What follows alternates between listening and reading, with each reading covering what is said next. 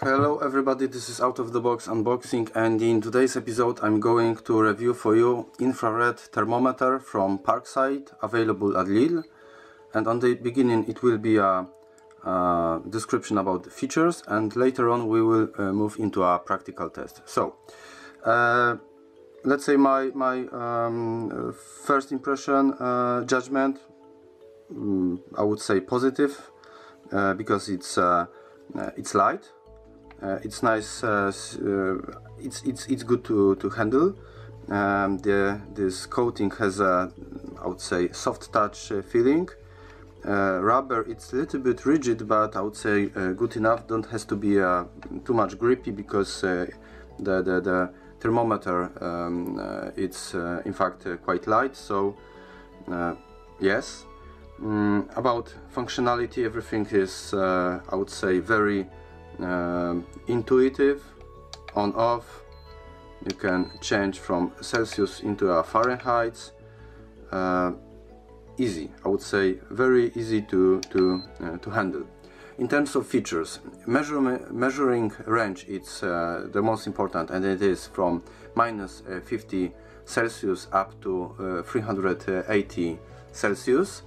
The deviation in measuring it's for Celsius uh, it's uh, plus minus one uh, one and a half Celsius uh, for temperatures that are be uh, below zero and for the um, for temperatures above it's uh, 3 degrees. So I would say for small temperatures like let's say my skin temperature 3 degrees it's uh, I would say quite much but it's not for um, checking the fever purpose but just to have a uh, roughly feeling what is the temperature that you are measuring. So 3 degrees if it is plus minus okay.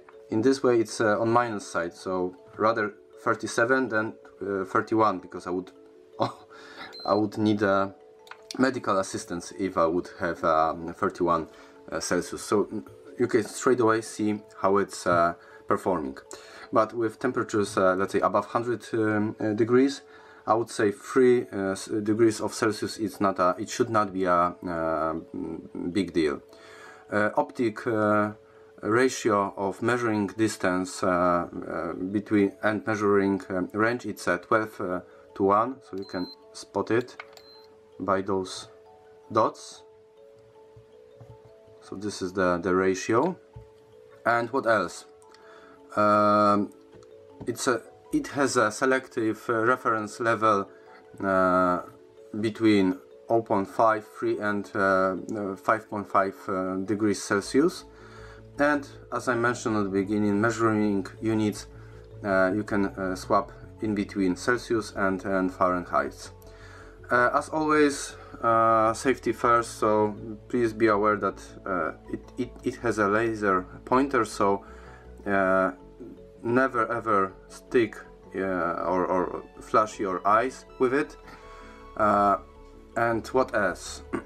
Mm, from the nice features I would say battery uh, change indication and automatically switch off after, after 60 seconds. So it will save your your your uh, your energy.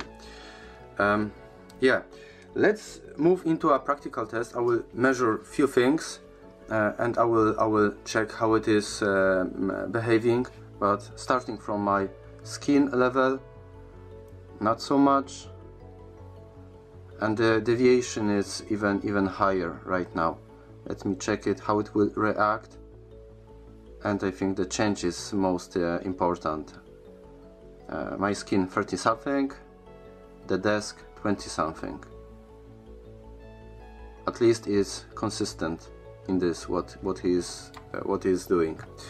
Um, on the downsides I would say one thing actually the the batteries because um, those are not so standard. Okay they are quite common but I would say AAA it's it's it's more common than those uh, 9 uh, volts. So I would rather expect to have a option in uh, that this this chassis could be a little bit um, not chassis, sorry, the body of this thermometric could be a little bit bigger and I would and I could uh, install it uh, with uh, uh, triple A or sorry double A batteries or triple A if needed but just to keep in the with this standard because this 9 volts maybe they are quite powerful and uh, lasting long but uh, if you need them you will have a at least a small problem to to find. Or maybe I'm just looking uh, uh maybe I'm too my criticism is too too high. Uh, okay let's move into our practical test